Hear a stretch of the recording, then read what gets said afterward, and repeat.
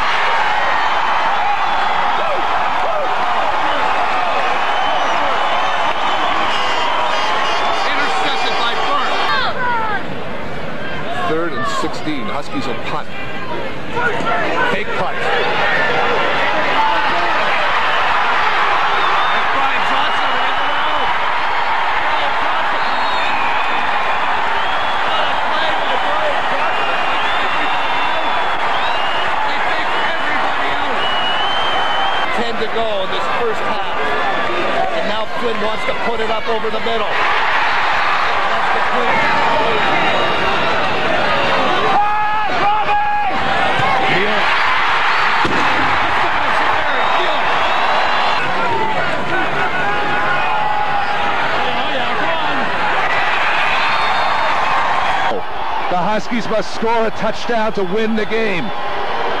Flynn back to pass. On the screen. Anthony Williams.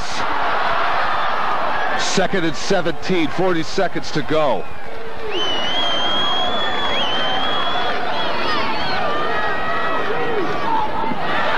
Anthony Oxley. In they got to stop the clock. Manji.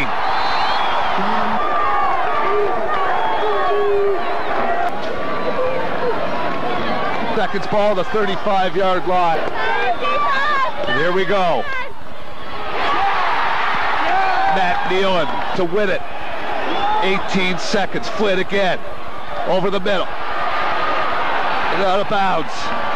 This is what it's all about. Four years for Chris Flynn, culminating right here. Flynn back to pass. Going deep in the end zone. Touchdown, St. Mary's! Oh, touchdown, St. Mary's! Touchdown! Touchdown, St. Mary's! Not the 10, just about. Touchdown, St. Mary's! Seconds to go. It's not over yet.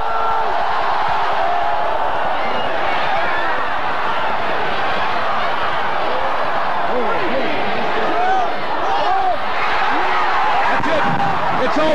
It's over.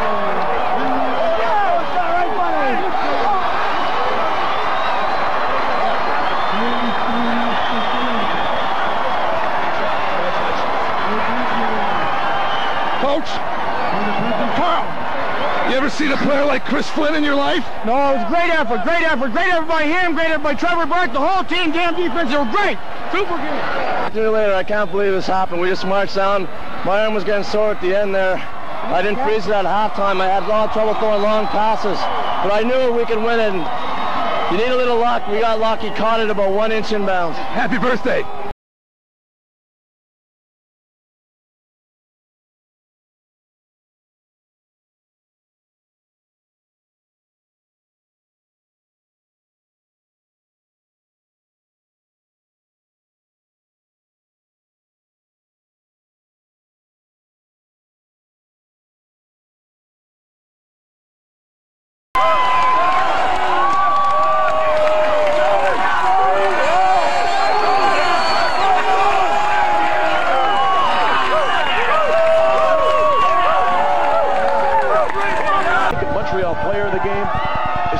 Highest moment of your career?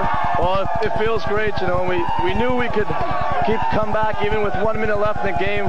We knew we had it in us, and uh, it just the drive happened so fast. It, it's just like a dream, and it, it feels great right now.